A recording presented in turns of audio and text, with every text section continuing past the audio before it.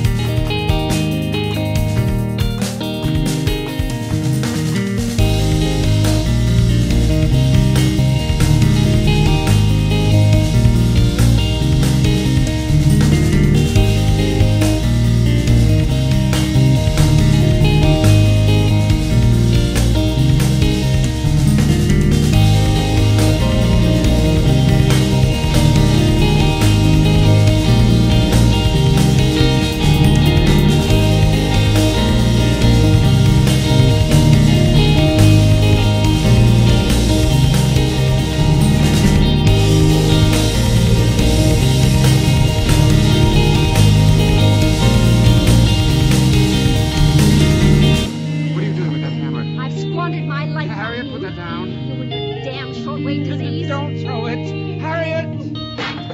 My radio. Do you know how much blood and sweat went into the. No, you selfish slob.